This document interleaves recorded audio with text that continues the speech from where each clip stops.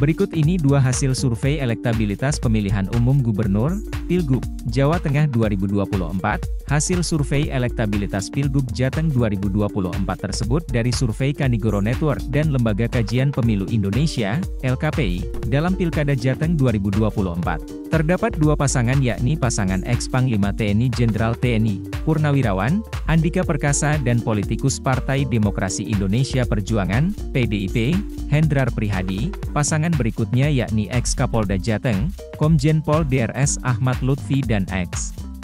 Wakil Gubernur Jateng, Taj Yasin Maimun, Gus Yasin. Diketahui Andika Perkasa Hendrar Prihadi dan Ahmad Lutfi Taj Yasin Maimun resmi ditetapkan oleh KPU Jawa Tengah, Jateng, sebagai pasangan calon, paslon, gubernur dan wakil gubernur pada Pilkada Jateng mendatang.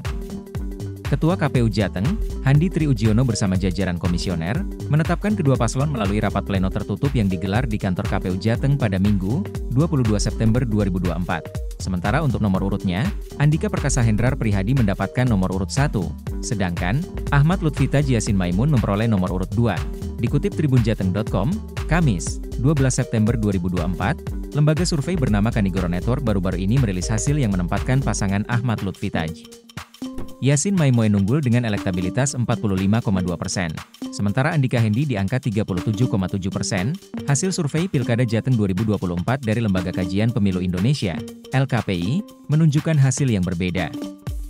LKPI menempatkan Andika Hendi di posisi teratas dengan 64,8 persen, jauh melampaui Lutfi Yasin yang hanya meraih 31,4 persen. Meski ada lembaga yang mengunggulkan pasangan Lutfi Yasin, Andika menegaskan bersama Hendi lebih memilih fokus pada strategi tim pemenangan. Menanggapi hasil tersebut, Andika tetap optimis. Ia juga menambahkan proses evaluasi akan terus dilakukan untuk meningkatkan elektabilitasnya menjelang hari pemilihan.